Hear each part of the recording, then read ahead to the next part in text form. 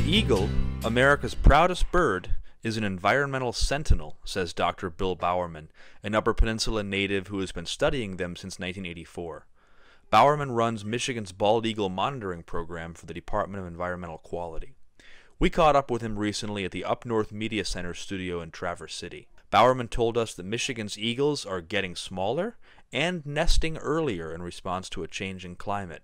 Here's an outtake from his presentation.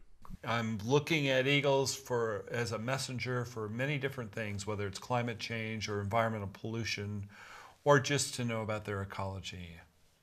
This shows a chart from 1961 to 2010 of the increase in the numbers of nest sites that are occupied each year in red, and the green is the number of young that were produced.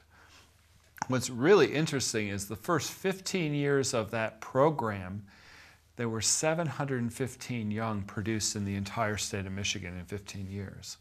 And by 2010, we were producing over 700 young in a given year. So you can see we banned DDT in this, in this slide in 1973.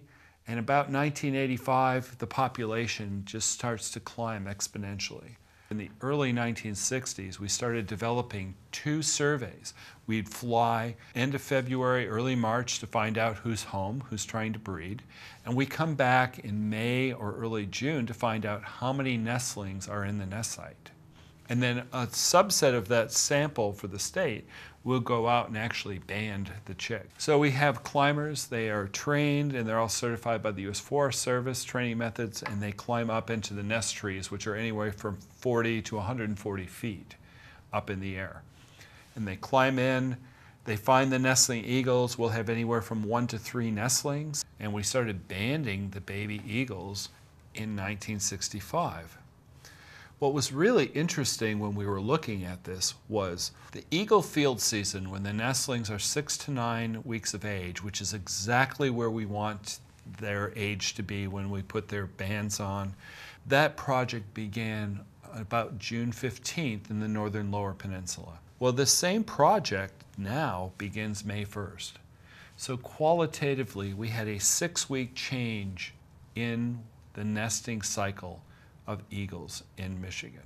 So what we decided to take a look at is since we had that qualitative six-week change, why don't we see if we can actually measure it? Would there be a change? So we knew what the ages of the birds were based on the eighth primary.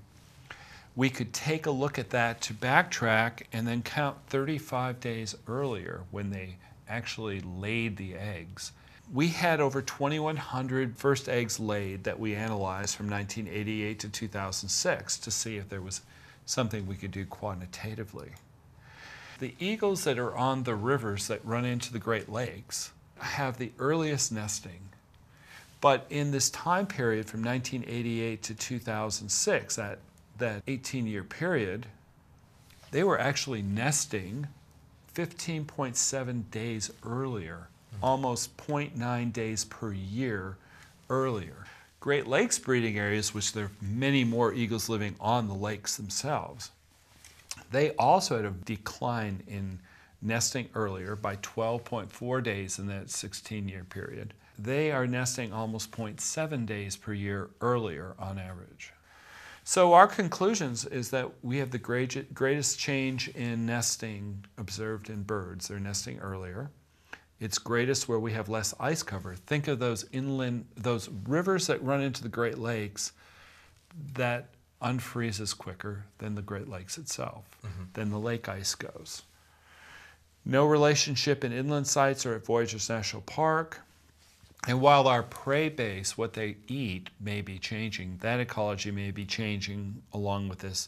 So far, the eagles have adjusted, and whatever that trigger is for laying is still the same trigger and that food base is still there. We don't see any impact to reproduction. So one of the things that could happen with climate change is if you're too big, then and if you can't adapt, you can't your genetics can't change to make your body size smaller and it's getting warmer and warmer, it causes extirpation. You can have local extinction because there's too much heat stress. And that's one of the things that we're really taking a look at. Can we predict this with climate change models? And one of the indications of adaptation would be if it's getting warm in areas where eagles are big, by measuring these same measurements with the nestlings, if they're starting to get smaller, we could see adaptation to this heat stress. Mm-hmm. One of my doctoral students took a look at that using all of our measurements and saw they are getting smaller inland in Michigan. So we have a dual indicator. The nesting cycle is going earlier, and the nestlings are getting smaller. Coupling these climate models with heat stress, we, could, we can predict areas that may be at risk to local extinction. So eagles have told us a story for many, many years about environmental quality, first starting with DDT and now with the climate change.